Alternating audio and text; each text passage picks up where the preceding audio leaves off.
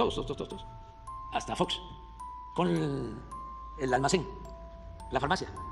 Fue un escándalo, el Universal, todos, ¿no? que era un almacén de Liverpool, pues sí, es un almacén de Liverpool, este, que se compró, no sé, alrededor de 2 mil millones de pesos. ¿Está vacío? Pues sí, está vacío. Acabamos de adquirir.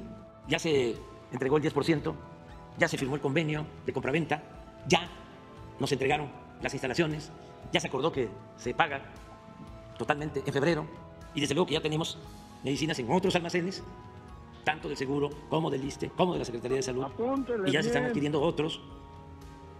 Y vamos a tener los almacenes con medicinas y van a estar todas las medicinas. Y vamos a suponer de que no podamos el 29 por imprevistos. Pero bueno, no se pudo el 29, pero se pudo el 15 de enero. Ahora, ¿por qué es que les molesta tanto? Por el negocio, por la corrupción, porque ya se acabó la tranza que tenían en la distribución de los medicamentos. En el fondo es eso.